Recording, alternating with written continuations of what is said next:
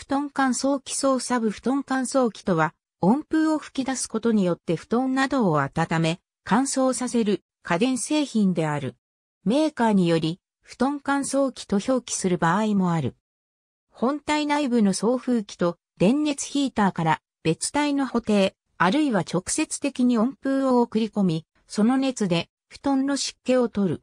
タイマーが備えられており、温風と冷却用の冷風を制御する。設定により、冷風を送り込まないようにもできるものがある。ヒーターは500から600ワット程度であり、やや小型のヘアドライヤーと同程度である。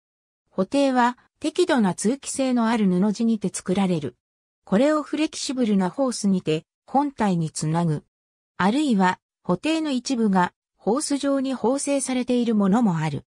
この布袋は掛け布団と敷き布団の中間あるいはマットレスや敷布団のシーツの間に敷き入れる。送風されると膨らむが、膨らみすぎないように袋の中央部などが縫い付けられている。同時に枕を乾燥できるように工夫された製品もある。ファンの空気取り入れ口の調整によって温風の温度を上げ、熱により布団面内部に生息するダニなどを死滅させる効率を高めるようにできるものもある。タイマーにはゼンマイを用いた機械式と決められた分数から選択できるボタン式があり、加熱時に自動的に電源が切れるよう安全装置も備えられている。梅雨時など布団を日干しできない時や、口述のようにダニ防止の目的でよく用いられる。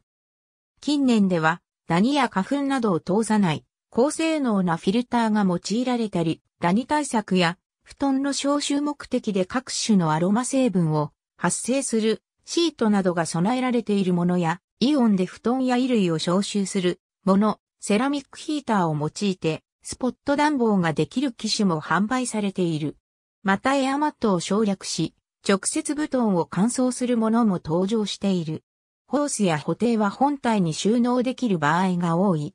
実売価格が5000円以下の安価なものから1万円台のものまである。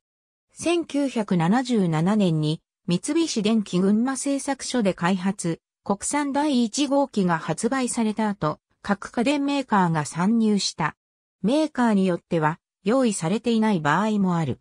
ダニはアトピー性皮膚炎や気管支喘息のアレルゲンになり得る。よってこれを少なくすることは症状の軽減に有効である。ダニは気温20から30度、湿度60から80%程度にてよく繁殖する。布団は人の汗を吸い取ることにより、これらの条件を満たしやすく、文字通りダニの温床になりやすい。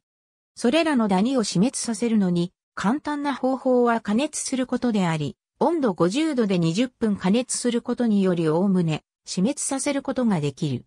一般に、布団は日光に当てることにより乾燥させることが多いが、温度上昇はあまり大きくなく、死滅するほどではない。また、多くは日光の当たらない側に移動する。乾燥そのものはダニの繁殖防止に役立つが、さらに徹底したい場合は、布団乾燥機の熱で積極的に温度を上げることが推奨される。ただし、高温と乾燥によってダニが死滅などしても、その死骸や糞などは残り、アレルゲンとなる。そのため、布団乾燥機にて乾燥を行った後、掃除機にて吸い取ることを同時に行うことが望ましい。ありがとうございます。